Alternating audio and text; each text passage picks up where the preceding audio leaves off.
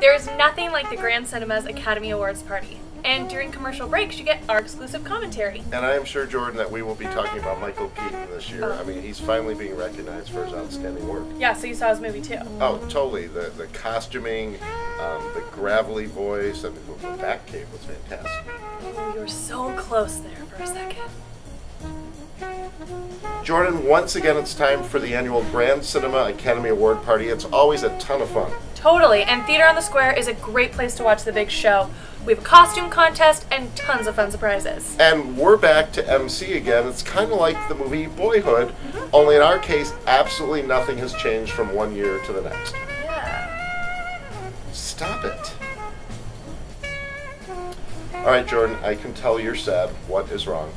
Well, Mitch, I always look forward to the Grand Cinemas Academy Award party at Theater on the Square, But but Jennifer Aniston wasn't nominated this year for Cake, and I don't know how I can have such a good time at the best party of the year knowing that Jen is sitting at home, sad and I was alone. a, I was afraid of this. Here's what we'll do. I will personally buy Jen a ticket if she wants to come to Tacoma and join us for the evening. you would How's do that for us? I totally will. I'll start tweeting to her right now. Don't worry.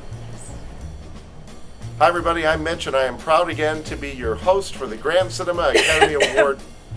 I'm the co-host of the Grand Cinema Academy Award party. And I am Jordan, and I was told I'd be hosting alone this year.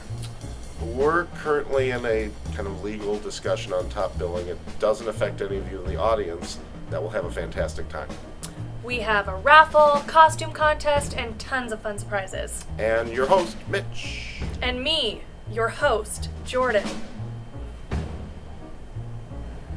Hello, I'm Jordan, and I'm very pleased to be co hosting this year's Grand Cinema Academy Award party at Theatre on the Square with this delightful bloke, Mitch. What is the deal with your voice? Aren't you from Fife?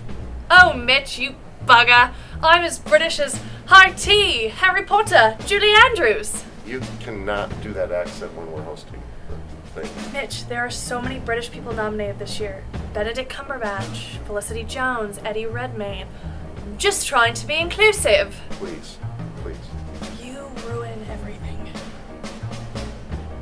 My favorite part of the Grand Cinemas Academy Awards party at Theatre on the Square is the annual costume contest. It is so great, Jordan, to see people from the audience dressed up as kind of the big movie characters in the past year, and we have a big prize. Totally, so get creative, Tacoma. We want to see your costumes. Like, you did a great job here, Reese Witherspoon from Wild, obviously. No, I'm going hiking at Point Defiance in an hour. Also way prettier than Reese Witherspoon.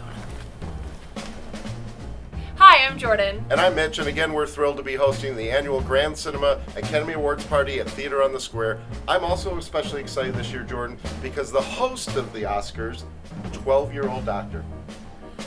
Okay, well, that was actually a show in the 80s, and he was an actor. So, 80s. Okay, so he's a doctor, like in his 30s or 40s, hosting the Oscars on ABC. Never let him operate on